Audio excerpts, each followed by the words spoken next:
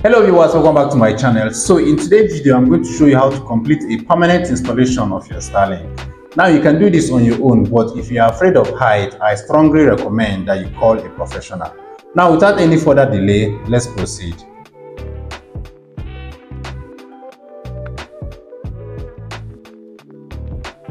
Permanent installation is recommended for best performance, cable protection, and long-term reliability. Let's begin by finding an ideal location for your Starlink. Step 1. You want a clear view of the sky free of obstruction. The app is a built-in tool to identify obstructions like hills, trees, and buildings. For best results, use the app at the exact place where you want to install your Starlink. Here is an example of a bad location as shown in my last video. I strongly recommend you go back and watch that video. Now this side is clear and is perfect for your Starlink to connect with the Starlink satellite constellation. Step 2. Choose a mounting option. A variety are available in the Starlink option, including installation on an eave, roof, wall, and also drilling and non-drilling options. When selecting an area to install your Starlink, avoid locations that require drilling and living areas.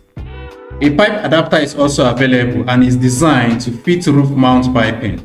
Whichever one you choose, make sure that the mast of the Starlink is installed vertically. Step 3. How can you route your cable? Make sure it is long enough to connect to the router with enough slack for changes due to heat and cold. When selecting your location to route your cable, avoid drilling into existing plumbing or electrical hardware. Once you are ready, plug the rectangular end into the router, then route the other end of the cable from the inside of the house to the outside.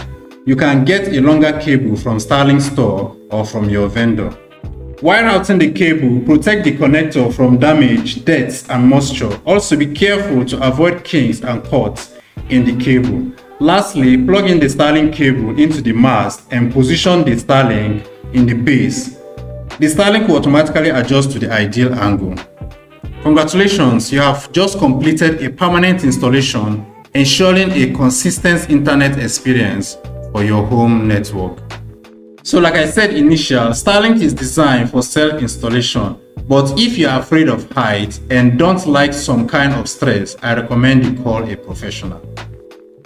So that will be all for this video. Now, if you need a guide on how to set up your Starlink, click on this video here. And also, if you need a guide to find out whether your location has Starlink service before even purchasing Starlink, click on this video.